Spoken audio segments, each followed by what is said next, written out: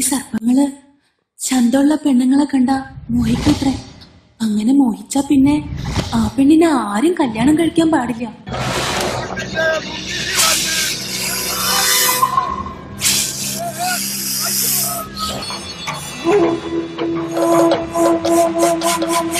Thank you.